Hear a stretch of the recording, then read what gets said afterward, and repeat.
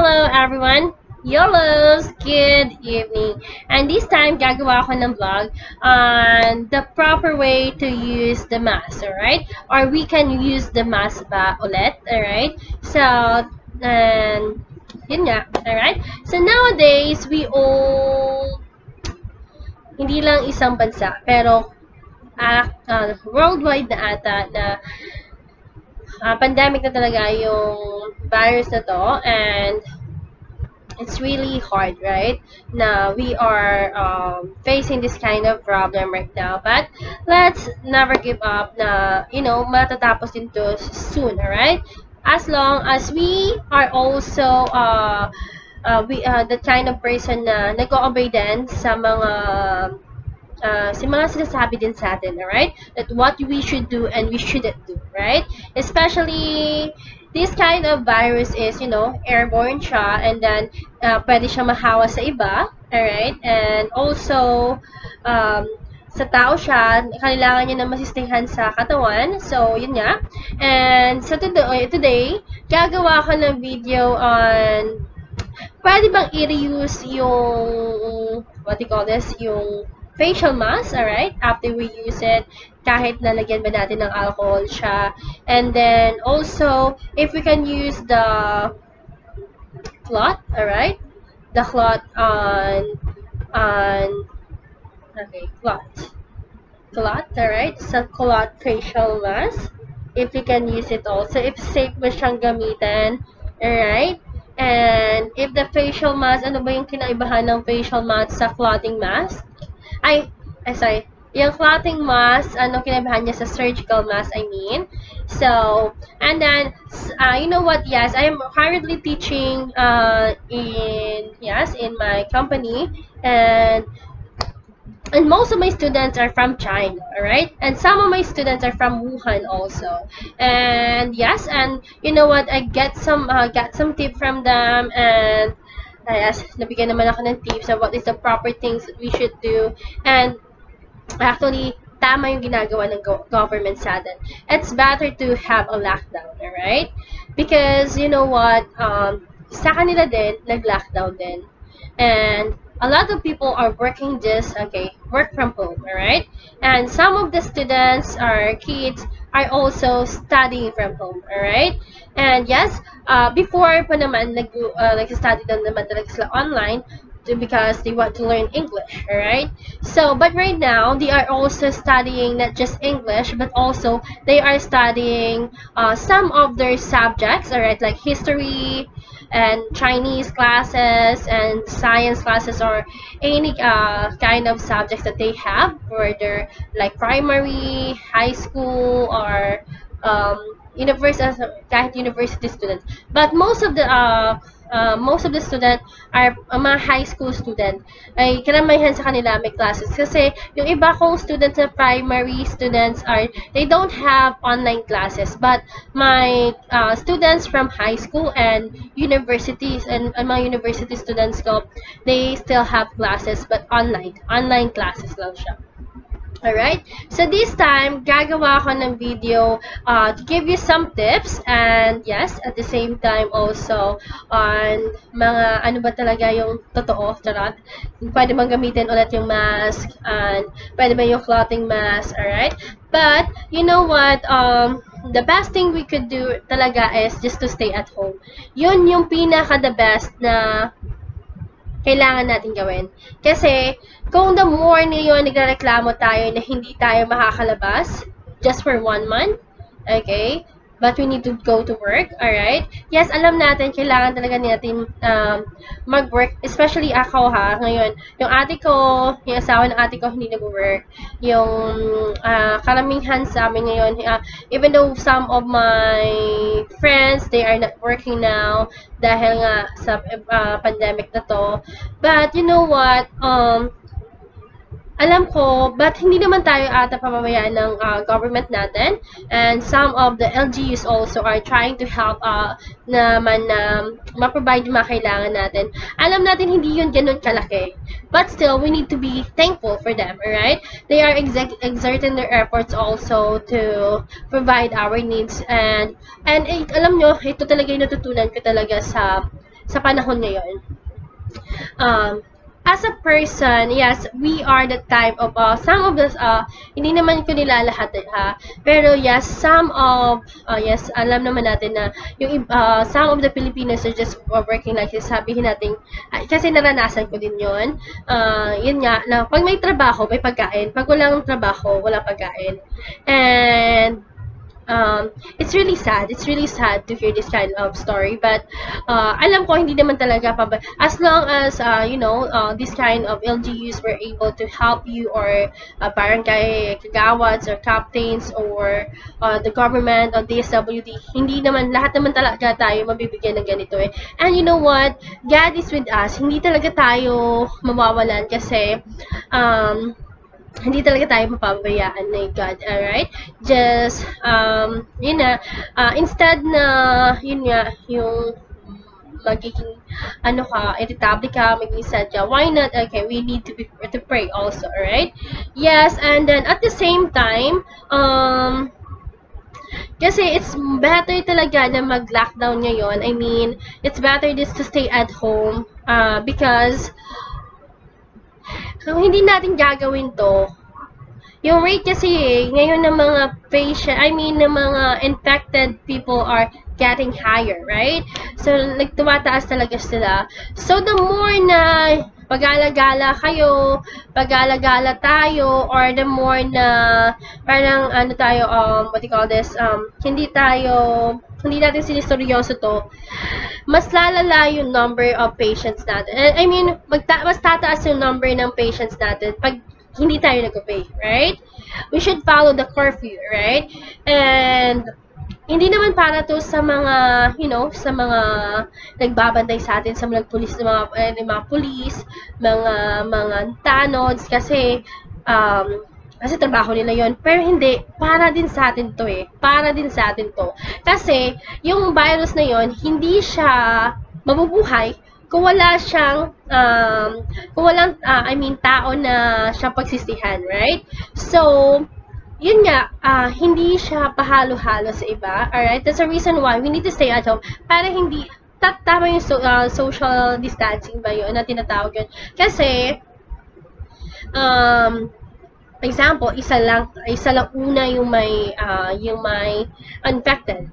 So, pag nakihulubulo siya sa iba't iba, yung isa na yun, dadami at dadami siya.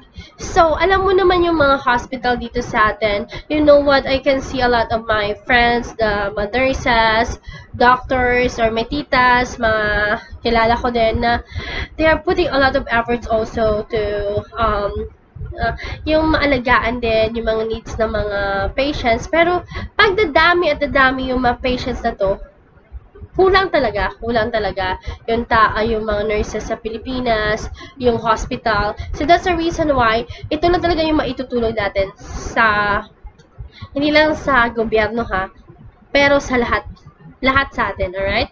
Thank your family. Thank your friends. Thank your relatives, alright? So, kasi, the more na hindi ka mag-stay, may tendency na magiging infected ka, alright? So, yun nga.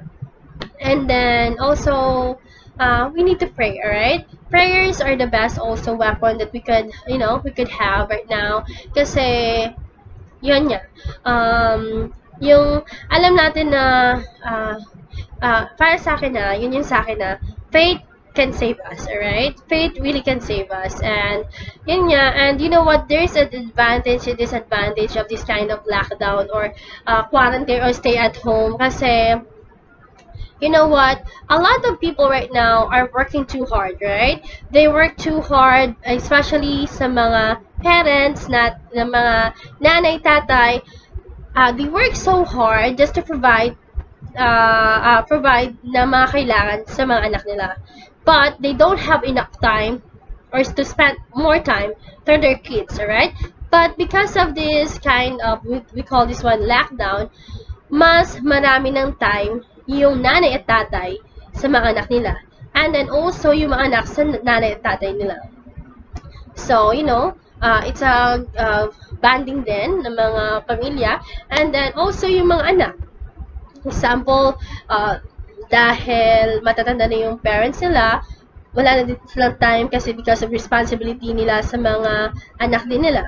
But because of this kind of uh, pandemic, uh, of this uh, quarantine or stay at home, uh, naging, nagkakaroon na ng time, alright? Uh, sa bawat isa. And then, alam mo yung ngayon, every person or every yung, yung matagal hindi mo na nakakausap, yung mga relatives, so, nagkakamustahan na kayo because of this kind of, of pandemic na hindi natin nagagawa before, you know what?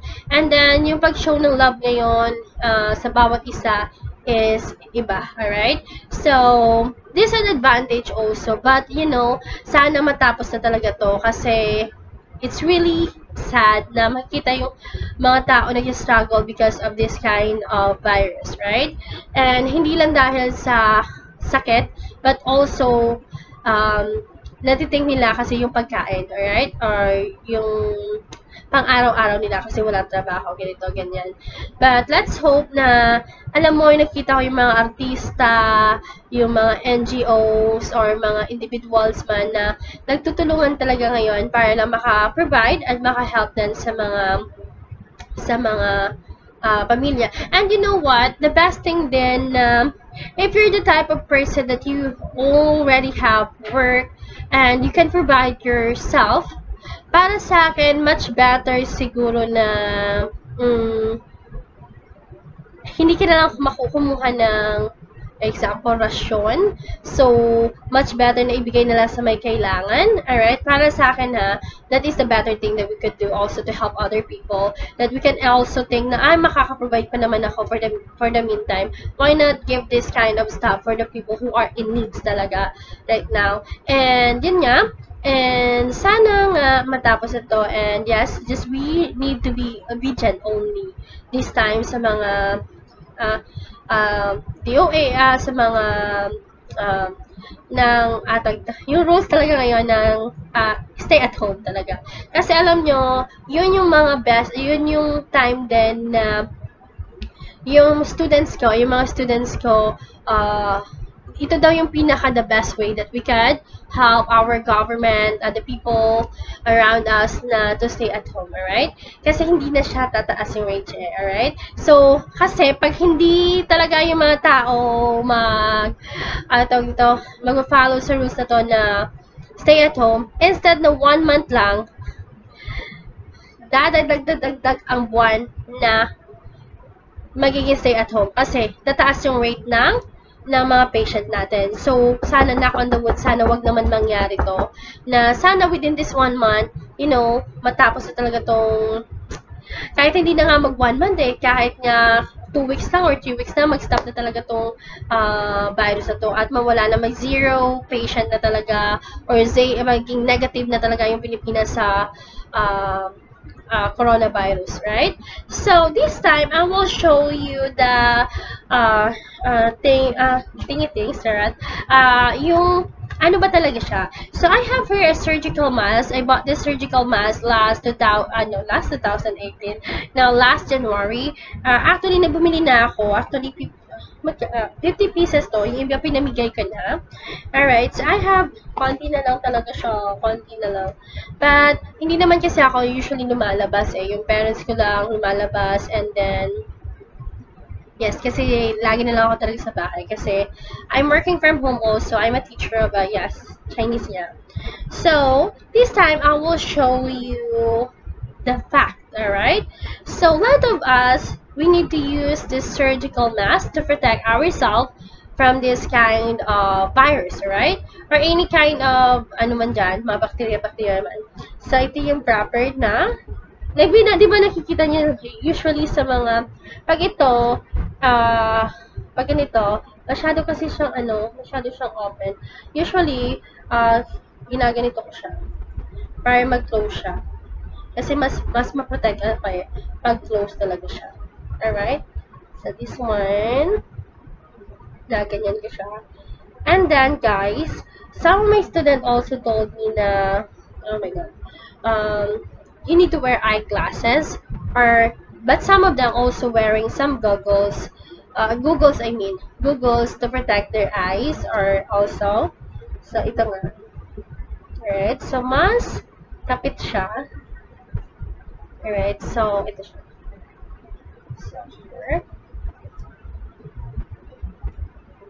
We all are using, we need to use Google um, surgical mask to protect ourselves, right? So, nakikita nyo, di ba, sa doktor, pag nag-surgery sila, they are using this mask, alright? This kind of mask, alright? So, I will show you uh, bakit ba ganitong mask, alright? So, this time, alright, so I will show you why, alright? Bakit ba surgical mask, alright? So, I will show you the fact, alright? So, this is the surgical mask. I have a glass of water in here. So, let's try, alright? So, i-open ko lang siya. Alright, so i-open ko siya. Then, I will put, okay, water here. Alright. Oh, sorry, sorry. I will put water here. So, as you can see, hindi siya nag, uh, hindi siya uh, tumatagos. Alright? Hindi siya talaga tumatagos. Alright? So, I will put it here. So, kaya, iba yung surgical mask. Hindi talaga siya tumatagos, as you can see. So, he, okay, this kind of mask really can protect you, alright? From this kind of virus. And then, so this is the mask that I use, alright? So, as what they said, some people think that uh, you can reuse the mask using an alcohol, right? So this is the mask that I used a while ago. Alright? And I I know baka masabihin nyo nagsasayaw ako ng facial mask, but I'm, uh, this is just for, uh, ano ba yung ano ng tatlo, uh, dalawang mask na to sa uh, uh, kaalaman nyo, right? So this is my use mask, right? Na nilagyan ko ng water a while ago. So I will use another mask, alright? So this mask, I will put um, alcohol. Okay? Kasi sabi nila, madedesinfect yung uh, yung madedesinfect yung facial mask, uh, kahit nagamit mo na siya, pwede mo siyang i-use agad. Basta, lagyan mo ng alcohol, madidisinfect na siya, alright? So, you can reuse the mask again, alright? But, this is the fact, alright? Na, ano ba? Alright, tama ba na lagyan ko ng alcohol at reuse ko agad yung facial mask? Alright, so this is the answer. Alright, so this is the new mask that I have here. So I will open a. So here. So, uh, alright, a while ago, I used the, uh, okay, the uh, first, uh, so sa first mask na yon, I used, uh, I, I put uh, uh, water, and then, I pour a water, I mean, and kahit nilagyan ko siya ulit-ulit, di ba hindi siya tumagas, tumagos, I mean. And then, this time, I will pour some alcohol in this uh, uh, uh, surgical mask, right?